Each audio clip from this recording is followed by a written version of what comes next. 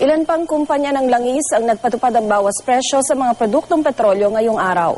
Simula kaninang hating gabi, 45 sentimo kada litro ang rollback sa premium at unleaded gasoline, gayon din sa kerosene ng Flying V. Habang 40 sentimo naman sa kada litro ng diesel. Sumunod din sa bawas presyo kaninang alas 6 ng umaga ang Phoenix Petroleum at Uni Oil.